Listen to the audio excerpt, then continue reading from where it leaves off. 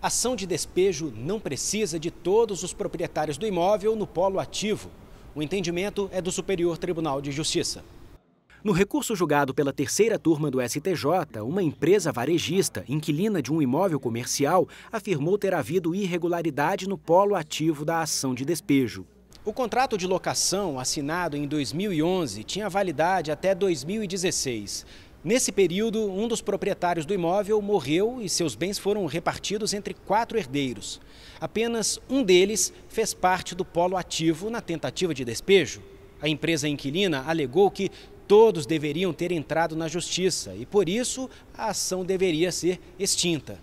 O Tribunal de Justiça de São Paulo negou a apelação da empresa e manteve o prosseguimento da ação. A inquilina recorreu ao STJ insistindo na irregularidade do polo ativo, mas a relatora, ministra Nancy Andrighi, confirmou a legitimidade dos autores da ação de despejo. Segundo a ministra, no caso analisado, incide uma regra do Código Civil que permite a qualquer um dos proprietários encerrar o contrato de locação.